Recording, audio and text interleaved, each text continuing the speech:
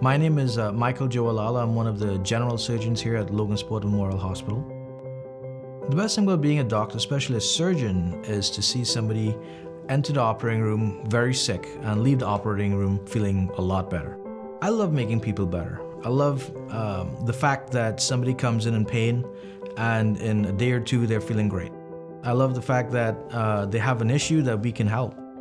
In residency training, I trained at New York Presbyterian Hospital in Queens, and from there I did my fellowship at St. Vincent's Hospital. And that fellowship was in advanced endoscopy and in laparoscopic surgery. So the same techniques that are performed at St. Vincent's and some of the larger hospitals, we are able to do here at Logansport Memorial.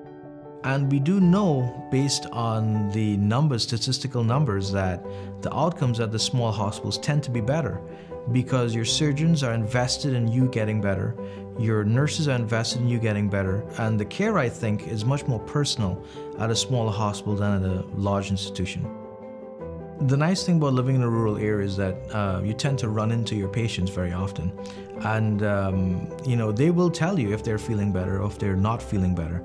And it's always great when somebody shows off that, oh, look, my belly doesn't hurt anymore. Or look, I can eat a cheese pizza without having pain. And they no longer have to watch how they eat and when they eat. They can eat normally now.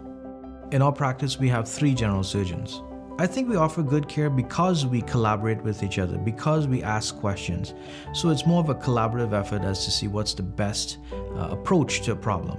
If you think you have a problem that needs surgery, uh, the best thing to do would be to call your primary care provider um, because that's your first line of, of inquiry. They will be able to refer you to see one of us uh, surgeons to see if we can help take care of your problem for you. We want to make sure you get that care that you need because we want to make you better.